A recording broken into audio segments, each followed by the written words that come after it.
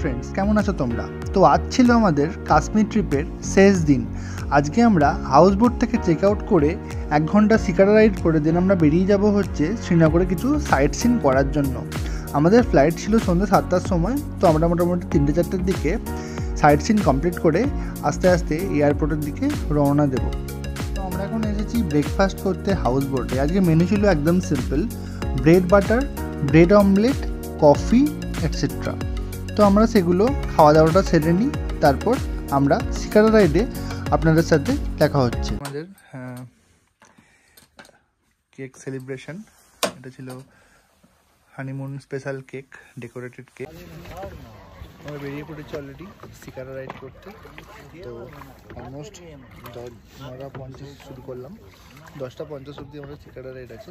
তারপর আমরা বেরিয়ে যাব হচ্ছে লোকাল সাইট সিন করতে শ্রীনগরে। কাশ্মীর এলে শিকারা রাইড তো অবশ্যই করবেন। এখানকার শিকারা রাইড হচ্ছে one of the best activity in Kashmir. আপনারা যদি প্যাকেজ ট্রিপে কাশ্মীর আসেন, সেক্ষেত্রে আপনাদের শিকারা রাইডটা ওয়ান আওয়ারের জন্য কমপ্লিমেন্টারি থাকে। চেয়ারফুল চার্লি হাউসবোটটা দেখছেন? এই হাউসবোটে মিশন কাশ্মীর সিনেমার বুমরা বুমরা গানটার শুটিং হয়েছিল। যিনি আমাদের শিকারা চালাচ্ছিলেন, তিনি আমাদের এই ইনফরমেশনটা দিয়েছিলেন।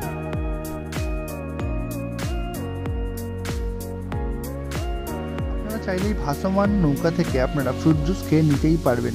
তাছাড়া ফ্রেশ ফ্রুটসের চাটোরা বানিয়ে দেয়। এই জায়গাটা স্পেশালি নাম হচ্ছে মিনা বাজার, যেখানে আপনারা নেমে কিছু কেনাকাটি করে নিতেই পারেন।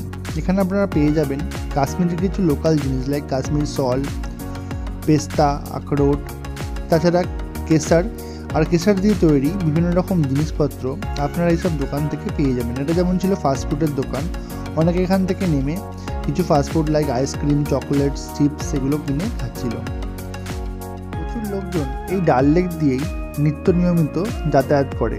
যেমন সামনে দেখতে পাচ্ছেন একটি বাচ্চাকে স্কুলে পৌঁছে দেওয়ার জন্য তার বাবা মা এই ছোট নৌকা করে তাদের রিকোয়ার্ড ঘাটে পৌঁছে দিচ্ছে। এভাবেই এখানকার বহু লোকজন যাতায়াত করে। এটি ছিল নেহেরু পার্কের এন্ট্রি এই নেহেরু পার্কে আসতে হলে আপনাদের এই শিকারা রাইড করেই আসতে হবে। আমরা নেহেরু পার্ক আর সময়ের জন্য নামিনি। আমরা সোজা আমাদের শিকারা রাইড কমপ্লিট করে আমাদের রিকোয়ার্ড ঘাটে পৌঁছে গেছিলাম। শ্রীনগরের লোকাল সাইট সিন করার জন্য।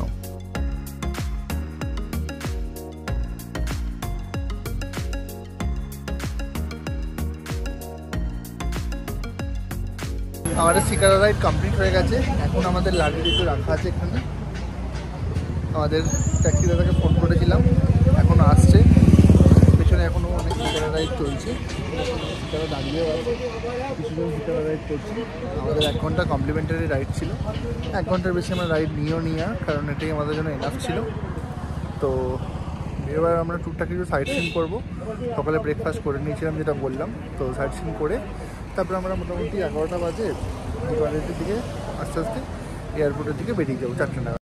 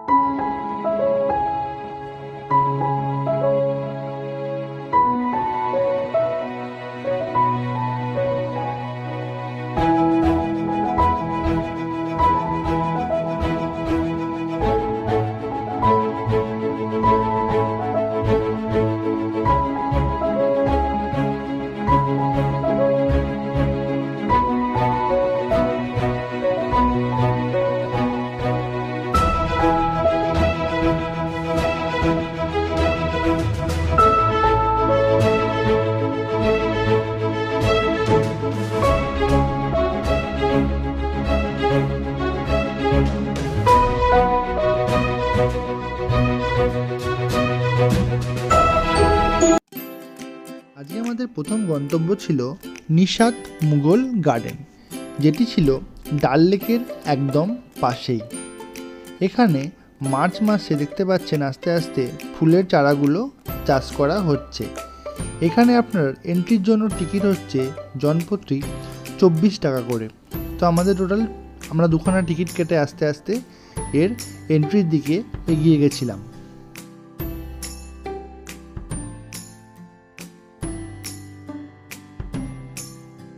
হচ্ছে ওভারঅল নিশাত মুঘল গার্ডেনের ভিউ এই সময় গ্রিনারি অতটা না থাকার জন্য বাগানটা অনেক ফাঁকা ফাঁকাই লাগছিল। এখন এই ফুলের চাষগুলো চাষ করা হয়ে গেলে এপ্রিল, মে মাসে এই সৌন্দর্য কয়েক গুণে বেড়ে যায়। তাছাড়া শীতকালে এই সামনের পাহাড়গুলোতে স্নো জমে থাকলে তখন এর ভিউও অন্যরকম দেখতে লাগে।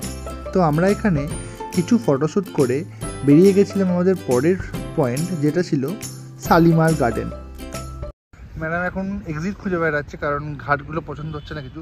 যেন এখনও হালকা হালকা পাহাড়ের একটা বরফের ভিউ দেখতে পাচ্ছি, যেটাকে আমরা বাড়ি গিয়ে খুব মিস করব। কারণ আমাদের পেহেলগাম, গুলমার্গ, এই দিনগুলো দুধপাত্রি, এই দিনগুলো খুব সুন্দর গেছে, সুন্দর।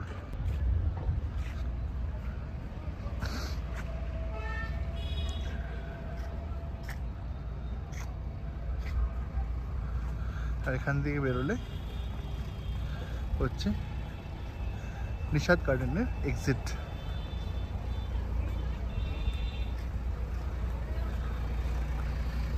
আমরা বেরিয়ে আবার গাড়িতে উঠবো, উঠে আমাদের নেক্সট ডেস্টিনেশনে যাব। দেখতে থাকুন ভিডিও এটা ছিল ফেমাস দ্য সালিমার গার্ডেন এখানেও তখন সেম গ্রিনারির চাষ হচ্ছিল। এখানেও দেখতে পাচ্ছেন চারিদিকে নতুন গাছের চারা আস্তে আস্তে রোপণ করা হচ্ছিল। এখানে পিছনের পাহাড়ে অনেক আইস তখনও দেখা যাচ্ছিল মার্চ মাসের মধ্যিখানের সময় নাগাদ। এখানেও সেম আপনারা এন্ট্রি করতে গেলে জনপ্রতি চব্বিশ টাকা করে টিকিট লাগবে। শালিমার গার্ডেনে এলে আপনারা বাইরে এবং ভেতরে দু জায়গাতেই খাবার দাবারের দোকান পেয়ে যাবেন। এদিকেও সেম এরকম। এখন জাস্ট ফুলের চাষ চলছে। এগুলো ফুটলে অনেক ভালো দেখতে লাগবে। গার্ডেনটা কিছু কিছু কনস্ট্রাকশনেরও কাজ চলছে। গাছগুলো সুন্দর করে ডিজাইন করা আছে। গাছের গায়ে কিছু লেখাও আছে এখানে। আরবিতে লেখা, আমি এটা পড়তে পারব না। এই হচ্ছে বাগানের মধ্যে ভিউ কিছু রেস্টুরেন্টও আছে এখানে। এই গাছটার নাম হচ্ছে দ্য চিনার নিচে কিছু হিস্ট্রি লেখা আছে।